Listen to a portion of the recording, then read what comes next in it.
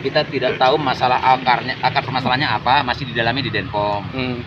jadi maksud ibu ini hanya untuk dengan menunjukkan bahwa dia ada dugaan penganiayaan loh yang dilakukan oleh pihak pihak TNI tapi dengan menggunakan membawa nama-nama satgas covid. Nah itulah yang diklarifikasi oleh ibu itu tadi permohonan maaf membawa nama satgas.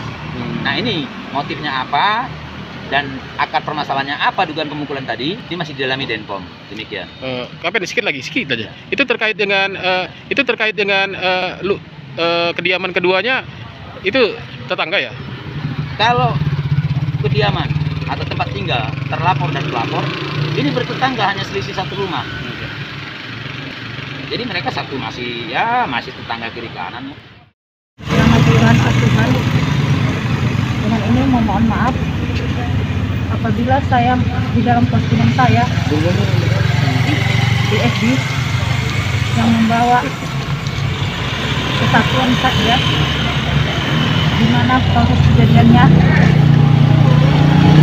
jadi sendiri, saya sendiri saya tahu itu adalah dampak dari tugas saya demikian.